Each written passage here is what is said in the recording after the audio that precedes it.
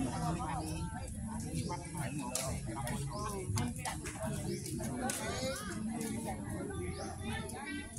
ิดนิสัยเสียงดังไม่ดีบอก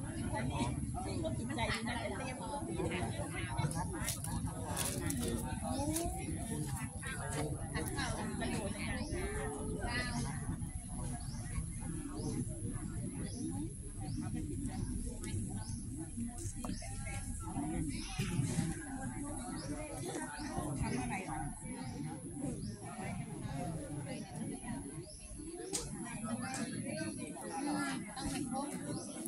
คืออะไรคะก็แล้วแล้ว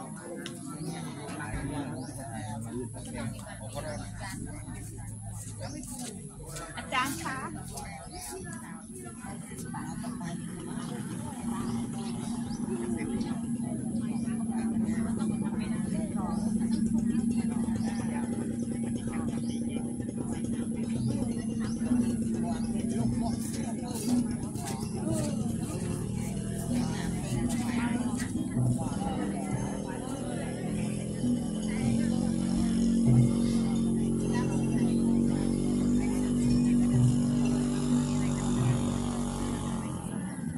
เรื่องไปวุฒิแล้วนะ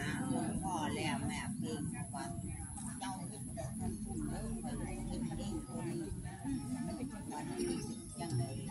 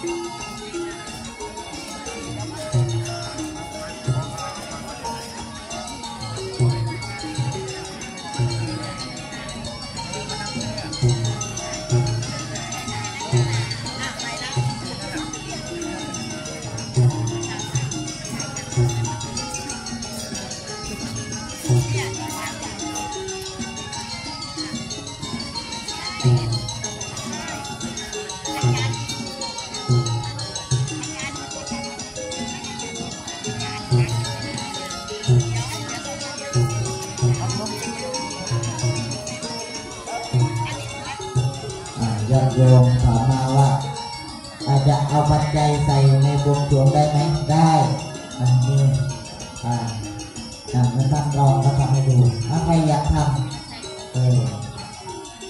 ท่านรองมาคือมีงานวงสรวงดุนะวะมองมองมองประเด็นเรื่องเลยอ่าช่วงนี้ช่วงทดลองดนตรีก่อนรอเวลา อีกห้านาทีโยมอ่ท่านใดที่อยากทำอ่าเขาเรียกอะไรนะ บูชาใบสีเออบูชาทำบวงสวง อ่าก็สวยงามอ่าสวยงามอาชาวบ้านเราทำใบสีเองโอ้สวยอาจารย์ใบสีนี่ระดับด็อกเตอร์เพราะว่าเราเอาชั้นสูงมาชั้นด็อกเตอร์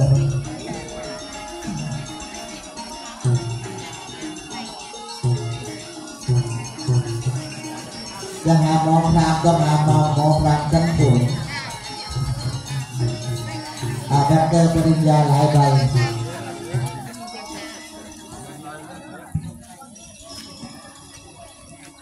อาท่านก็เป็นอาจารย์สอน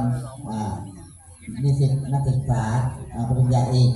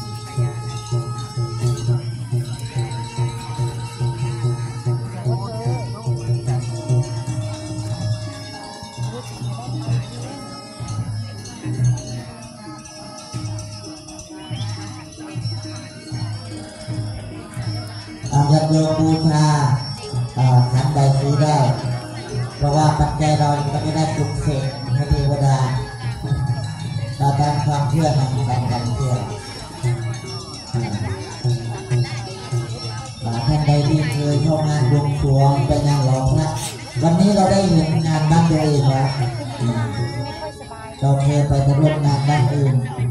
ตอนนุโมทนาบุญกับท่านใจตีเนาะสวยพัดใบตองไปด้วยยิ้มไปด้วยไม่ได้นอนอะรอเวลาอีกสามนาที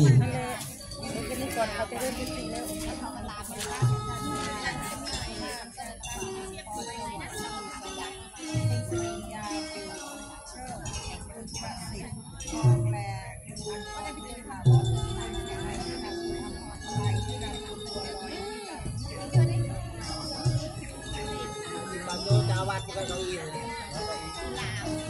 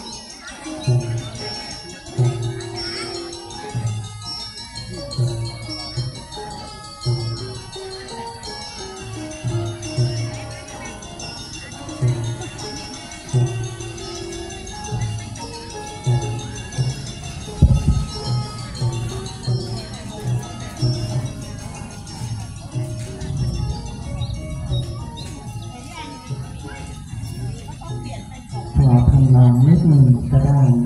ส่วนท่านใดจะออกมาอ่าปักปัจจัยเพื่อที่จะร่วมสร้างพระพุทธรูปอันศักดิ์สิทธิ์ให้ประจำอยู่ณสถานที่แห่งนี้นับตั้งแต่หนึ่งร้อยปีขึ้นไป ก็ถือว่าร่วมสร้างพระพุทธรูปเพื่อสืบทอดพระศาสนาบัดนี้ ข้าพระพุทธเจ้าขอประกาศโครงการให้ฟ้าดินรับรู้ พระพุทธเจ้าพระนามว่าสิทธะเป็นพระราชโอรสของพระเจ้าสุโธธนะ และพระนางสิริมหามายา แห่งกรุงกบิลพัทแฟ้นสักะพระองค์ทรงถือกำเนิดในสักยวงศ์สกุลโคตมะ พระองค์ประสูติในวันศุกร์ขึ้นสิบห้าค่ำเดือนหกเดือนวิสาขปีจอก่อนพุทธศักราช80 ปี ณ สวนลุมพินีวัน ซึ่งตั้งอยู่ระหว่างกรุงกบิลพัทแขวงสักกะกับกรุงเทวหะแขวงโกริยะ ปัจจุบันคือระหว่างกรุงกบิลพัทแขวงสักกะกับกรุงเทวหะ แขวงโกรยะปัจจุบันคือตำบลรุมมินเดนประเทศเนปาลพระพุทธเจ้าทรงตรัสรู้เวลารุ่งอรุณในวันเพ็ญเดือนหกเดือนวิสาขปีระกาลก่อนพุทธศักราช 45 ปี นางตุชาดาได้นำข้าวมัทุปายา เพื่อไปบวงสรวงเทพยดา ครั้งเห็นพระมหาบุรุษประทับในต้นอาชาปานิโครธ ต้นใสด้วยอาการอันสงบจึงถวายข้าวมัทุปายา แล้วพระองค์เสด็จไปสู่ท่าสุประดิษฐ์ริมฝั่งแม่น้ำในรัญชราทรงวางถาดทองคำบรรจุด้วย ข้าวมัทุปายา และทรงสนานชำระพระวรกาย แล้วทรงผ้ากาสาวพัดอันเป็นธงชัยของพระอรหันตสัมมาสัมพุทธเจ้าทุกพระองค์ หลังจากเสวยแล้วพระองค์ทรงจัดถาดทองคำขึ้นมาอธิษฐานว่า ถ้าเราจะสามารถตรัสรู้ได้ในวันนี้ ก็ขอให้ทองคำใบนี้ จงลอยทวนกระแสน้ำไป แต่ถ้าไม่ได้เป็นดังนั้น ก็ขอให้ถาดทองคำใบนี้ จงลอยไปตามกระแสน้ำเถิดแล้วส่งปล่อยถาดทองคำลงไปในแม่น้ำ ถาดทองคำลอยตัดกระแสน้ำไปจนถึงกลางแม่น้ำในราชา แล้วลอยทวนกระแสน้ำขึ้นไปไกลถึง 80ศอกจึงจงลงในที่กระแสน้ำวน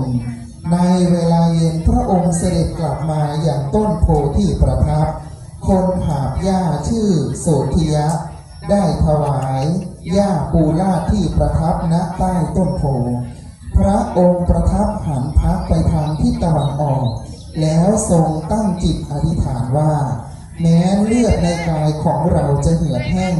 ไปเหลือแต่หนังเอ็นกระดูกก็ตาม ถ้ายังไม่บรรลุธรรมวิเศษแล้ว จะไม่ยอมหยุดความเพียรเป็นอันขาดเมื่อทรงตั้งจิตอธิษฐานเช่นนั้น พระองค์ก็ทรงสำรวมจิต สงบแน่วแน่ มีสติตั้งมั่น มีพระวรกายอันสงบ มีพระหฤทัยแน่วแน่เป็นสมาธิ บริสุทธิ์ผุดผ่องปราศจากกิเลส ปราศจากความเศร้าหมองอ่อนโยน เหมาะแก่การงานตั้งมั่นไม่หวั่นไหวทรงน้อมพระไทยไปเพื่อ บุพเพนิวาสานุสติญาณญาณอันเป็นเหตุระลึกถึงฐานที่อาศัยในชาติปางก่อนก็ได้ ในปฐมยามแห่งราตรี ต่อจากนั้นทรงน้อมพระทัยไปเพื่อจะตูปาตยานยานกำหนดรู้การตายการเกิดของสัตว์ทั้งหลาย ในมัชชิมยามแห่งราตรี ต่อจากนั้นทรงน้อมพระทัยไปเพื่ออาวาสาอาวาสวัคยยานยานอย่างรู้ในธรรมเป็นที่สิ้นแห่งอาสวะกิเลส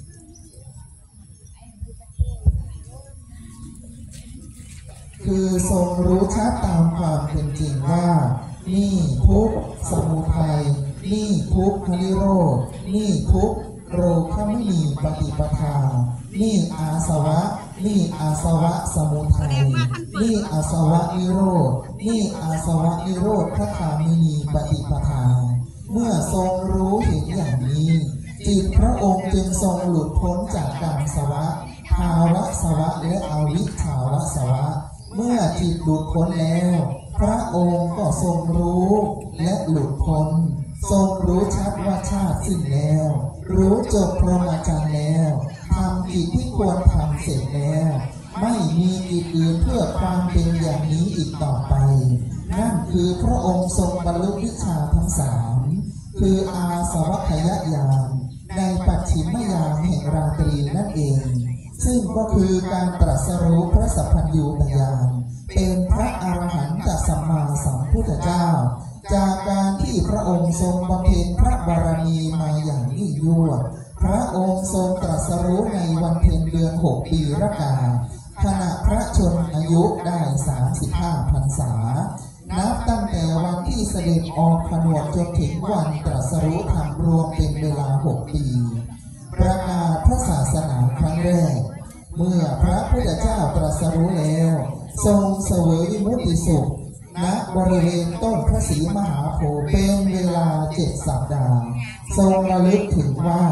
ธรรมะที่องค์ตรัสรู้เป็นการยากสำหรับคนทั่วไป จึงทรงน้อมพระทัยไปในทางที่จะไม่ประกาศพระสัจธรรมพระสหมบดีโปรงทราบวาระจิตของพระองค์